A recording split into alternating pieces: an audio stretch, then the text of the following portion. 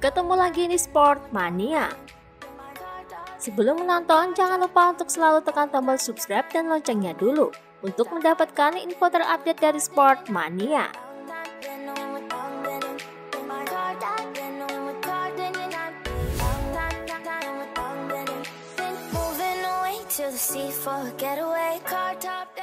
Dikutip dari Motorsport, tim pabrikan Aprilia yang akan berdiri sendiri Ternyata tahun ini belum juga memasang target podium juara untuk perjalanan MotoGP 2022.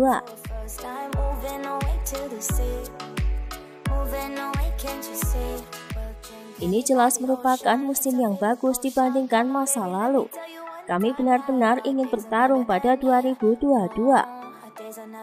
Pertama-tama kami akan menjadi tim pabrikan, tetapi jika kami melihat kemajuan kami selama tiga tahun terakhir, kami berharap 2022 akan mengkonfirmasi pertumbuhan ini dan memungkinkan kami untuk menutup kesenjangan dengan tim terbaik.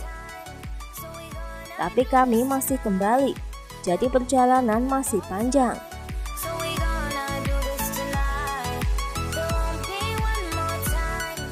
Lebih lanjut, Rivola membeberkan bagaimana pendekatan yang mereka terapkan pada Maverick Vinales selama perjalanan 2021 lalu. Pendekatan yang kami lakukan dengan Maverick adalah menggunakan balapan sebagai ujian, kemudian mencoba berbagai bagian dan konfigurasi setup untuk mencari tahu apa yang terbaik untuknya. Dengan cara ini kami mengorbankan hasil balapan dan sedikit juga kepercayaan dirinya yang menjadi sedikit lebih sulit untuk dibangun.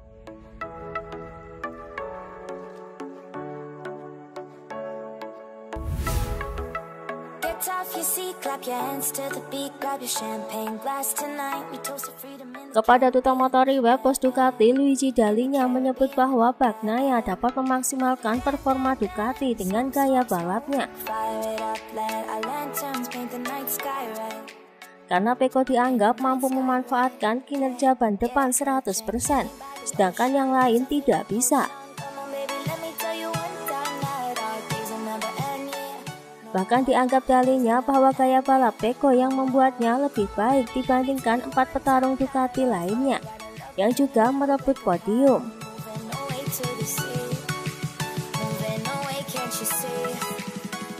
Jelas bahwa Peko menggunakan gaya berkendara yang berbeda dari pembalap Ducati lainnya. Sangat istimewa karena menggunakan ban depan 100%. Di Ducati kami memiliki gaya berkendara yang berbeda dan motor yang oke harus memberikan kesempatan kepada pengendara untuk menggunakan pacuan dengan cara yang dia inginkan. Saya percaya motor kami mampu melakukannya sekarang.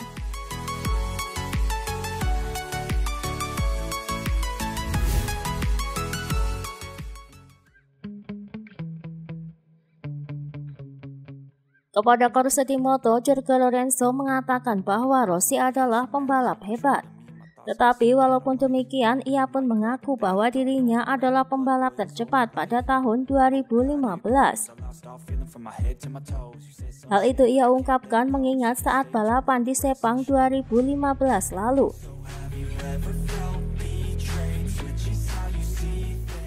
Bahkan jika Rossi tidak dihukum, ia akan finish di urutan keempat. Honda dan saya lebih cepat di trek itu. Saya lebih cepat dan saya pantas menang. Meski saya yakin Valentino berpikir berbeda.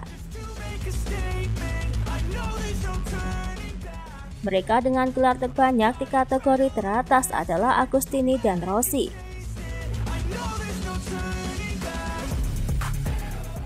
Tanpa mengambil apa pun dari apa yang dilakukan Giacomo, saya katakan Rossi. Karena seperti Maradona dalam sepak bola, dia sangat bagus di dalam dan di luar lapangan. Dia adalah seorang pemimpin dengan banyak kepribadian dan karisma, dan ini juga harus diperhitungkan.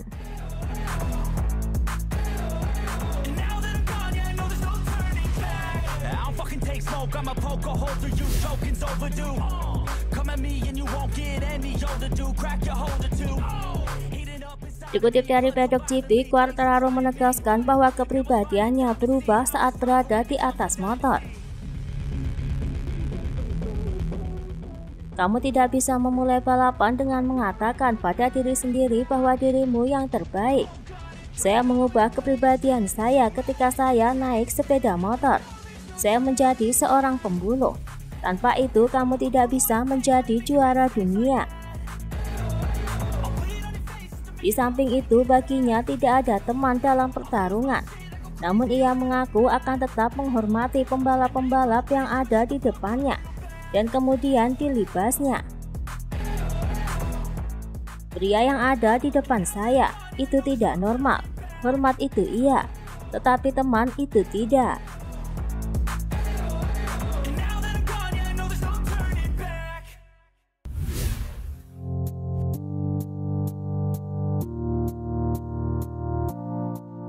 Rin Jarvis tahu bahwa musim 2022 tidak akan menjadi tahun yang mudah bagi timnya jika mereka ingin mempertahankan gelar yang dimenangkan oleh Quartararo.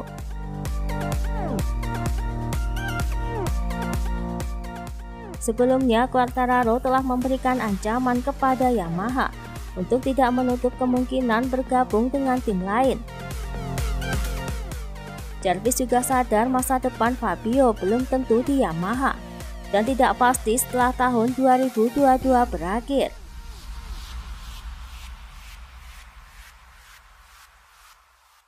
Sekarang kami telah bergerak karena Frankie memiliki kontrak hingga akhir 2023.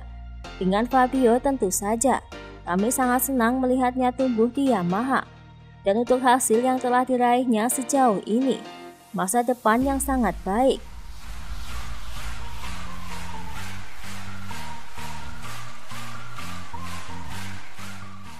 Jelas niat kami adalah mempertahankan Fabio untuk 2023 dan 2024. Apakah kami sudah mulai berbicara dengannya tentang detailnya? Tidak. Apakah kami akan segera melakukannya? Tentu iya.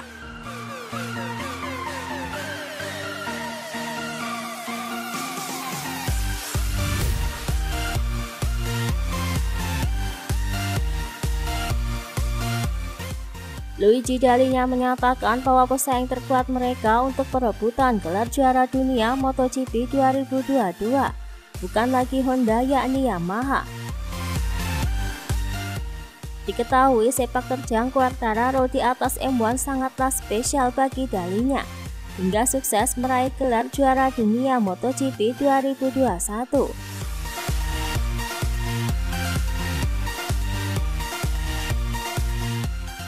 Transmisi yang mulus yang diperkenalkan Honda misalnya adalah ide yang sangat bagus, namun selalu sulit untuk berbicara tentang pabrikan lain.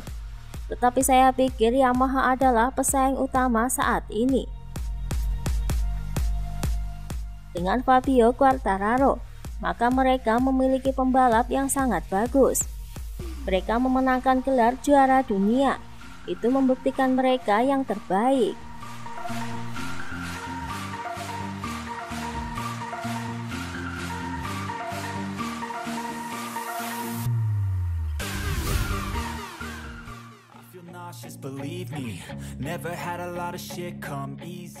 Untuk pertama kalinya dalam 26 tahun, maka MotoGP akan tersaji tanpa sosok Valentino Rossi yang memutuskan pensiun balap pada 2022.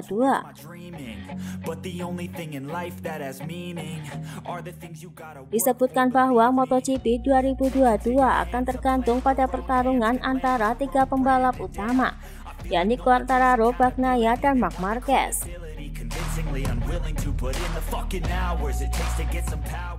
Kepentingan yang sama terus berlanjut akan tergantung pada Quartararo, Bagnaia, dan Marquez dan perusahaan.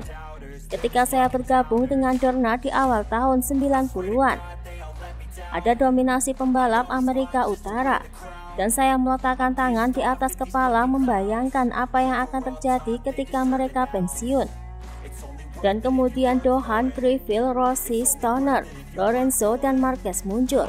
Terang Manuel Arroyo selaku manajer Donna. Itulah tadi beberapa informasi dunia MotoGP yang bisa kami sajikan. Terima kasih telah menonton video ini. Selalu ikuti informasi MotoGP kami lainnya. Salam Sport Mania.